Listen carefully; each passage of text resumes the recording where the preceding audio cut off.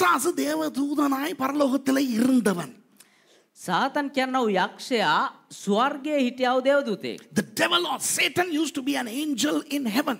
So he now knows better theology than you and I.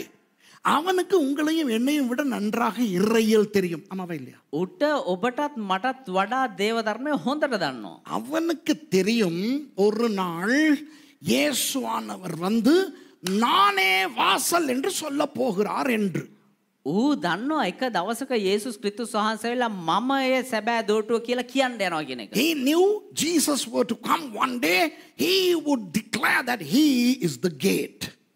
அதனால் அவன் என்ன செய்தான் එනිසා ඌ මොනවද කරේ? பாபிலோனிலே தேவனுடைய வாசல் என்று ஒரு போலியான வாசலை அறிமுகப்படுத்தி விட்டான் බාබිලොන් වල දෙවියන් වහන්සේගේ දොරටුව කියලා එක ව්‍යාජූ දොරටුවක් ඇති කරා. He introduced a false gate to heaven. You know, in the, in the, in the, in the early period of human civilization, way back in Babylon.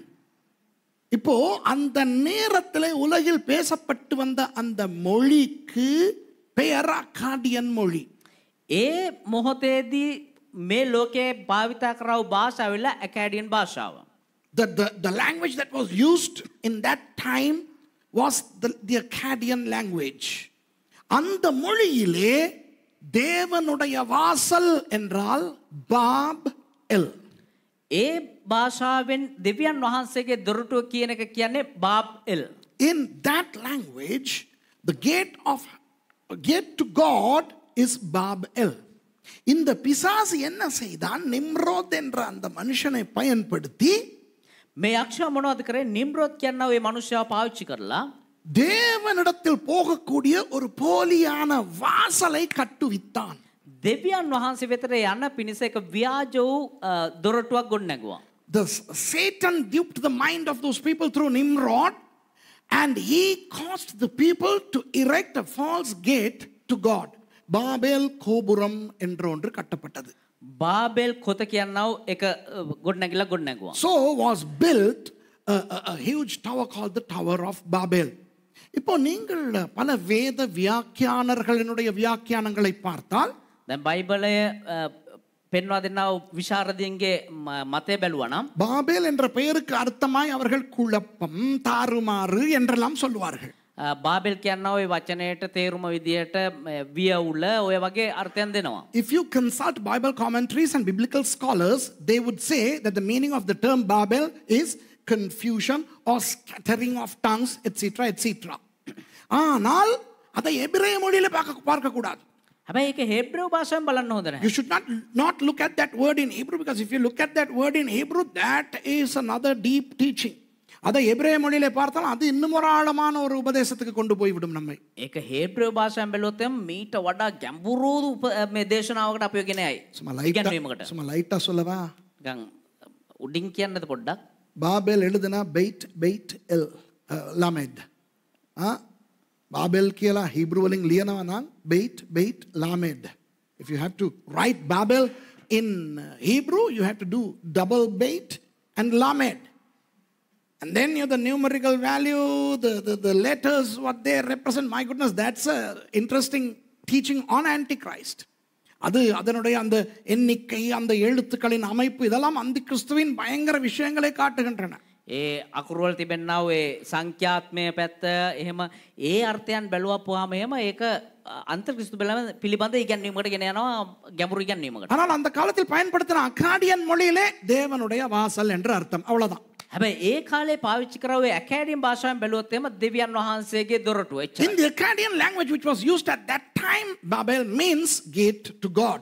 அப்போ அன்றைக்கு தேவனிடத்துக்கு அல்லது பரலோகத்துக்கு போவதற்கு ஒரு வாசலை காண்பித்த பிசாசு එතකොට එදා එහෙමනත ඒ කාලේ දෙවියන් වහන්සේ වෙතට ගෙන ය- යන දෝටුව කියලා පෙන්නව ඒ යක්ෂයා அதற்கு பிறகு இன்று வரை பரலோகத்துக்கு போக நித்திய ஜீவனுக்கு போக தேவனிடத்துக்கு போக பல கோடிக்கணக்கான வாசல்களை மனிதர்களுக்கு காட்டிக்கொண்டே இருக்கிறான் එදා ඉඳං අද වෙනතුරු ස්වර්ගයට යන්න එහෙම නැත්නම් දෙවියන් වහන්සේ වෙතට යන්න කියලා වෙලා විවිධාකරු දහස් ගණන් දෝටුවන් පෙන්ඩමින් ඉන්නවා. The devil who lied to people at that time, hey, this is how you would go to heaven, this is the gate to God, has not stopped at that. date, he has been introducing millions and millions and millions of gates to go to God. ஆகவே இன்றைக்கு நீங்கள் பார்த்தீர்கள் என்றால் அத்தாவசிய ஒப்ப வெல்வானாம் சிலர் இப்படி சொல்லுவார்கள். சமர் மகிமக்கேனும் நீங்கள் எந்த மதத்தில் இருந்தாலும் பரவாயில்லை.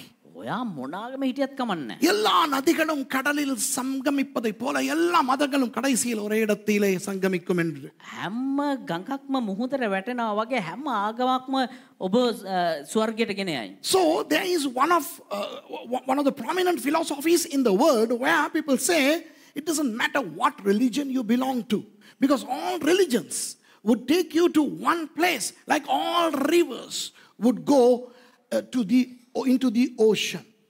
Now that's true. All religions would take you to one place but unfortunately that place is called hell. உண்மை எல்லா மதங்களும் ஒரே இடத்துக்கு உங்களை கொண்டு போகும் ඇත්ත හැම්ම ආගම ඔබ එක ස්ථානයකට ගෙනයයි.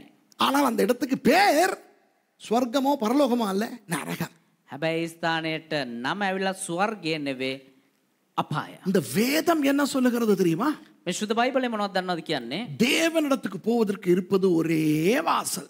දෙවියන් වහන්සේ වෙතර යන්න තිබෙන්නේ එකම එක මාර්ගයයි. දොරටුවයි. According to the Bible there is only one gate to go to God or to heaven and that happens to be Jesus Christ.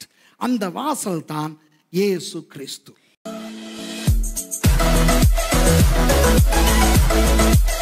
Thank you. Thank you.